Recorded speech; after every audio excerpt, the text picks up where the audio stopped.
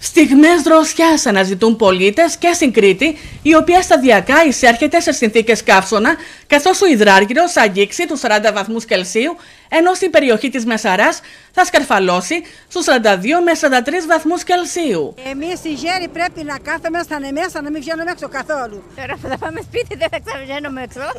Καθίζομαι μέσα στην τροσεράδα. Νεράκι πίνετε. Αρκετό. Παγωτά. Καλά είμαστε μέχρι τώρα. Δεν ήρθε ακόμα η πολύ ζέστη. Νεράτσι, νεράτσι. Νεράτσι του Θεού. Θα έρθει το σαραντάρι, θα έρθει, θα έρθει, ε. Νερό να πίνουμε, πολύ, δουλειά ψωλίζει, σε φωτιές να μην έχουμε βέβαια, και να προσέχουμε όσο μπορούμε.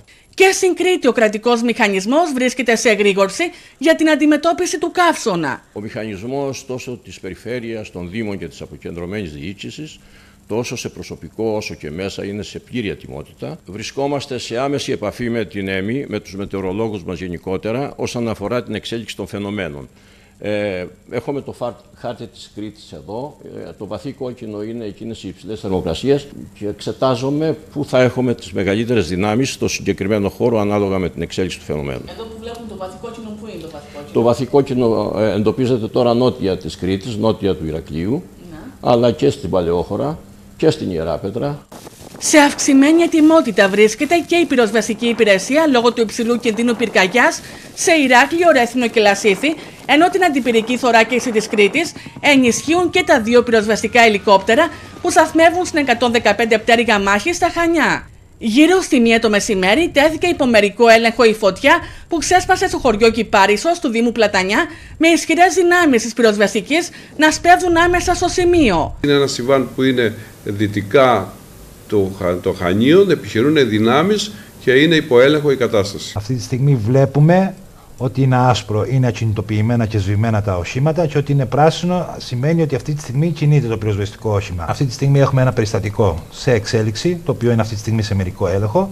Εδώ θα δείτε το σημείο της πυρκαγιάς, καθώς τα πυροσβεστικά οχήματα που έχουν μεταβεί στον τόπο της πυρκαγιάς και αν λειτουργούν ή όχι. Το οποίο που είναι, στον Πλατανιά; Είναι στον Πλατανιά, στον οικισμό Κυπάρισος, νοτιοδυτικά του οικισμού Κυπάρισος. Σύμφωνα με πληροφορίες, πολίτες εκτελούν αγροτικές εργασίες με θρηματιστή υπολοιμάτων καλλιεργειών, όμως δημιουργήθηκε σπινθήρας με συνέπεια να επεκταθεί η φωτιά, την οποία έθεσαν το μεσημέρι υπό μερικό έλεγχο οι πυροσβέστες. Καμπανάκι κινδύνου κρούει η Περιφερειακή Πυροσβεστική Διοίκηση Κρήτης, ειδικά αυτές τις μέρες που θα επικρατήσει ο καύσωνας.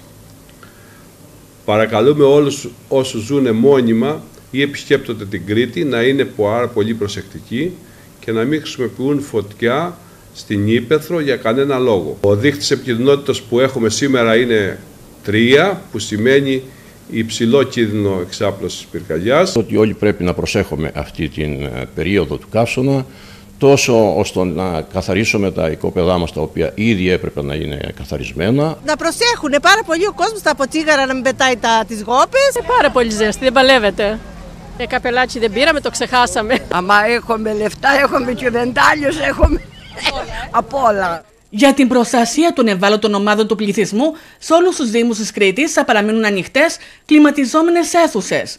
Παράλληλα, ο Δήμος Ηρακλείου ξεκινά την παροχή υπηρεσιών street work για τους άστεγους, προσφέροντας ήδη πρώτης ανάγκης.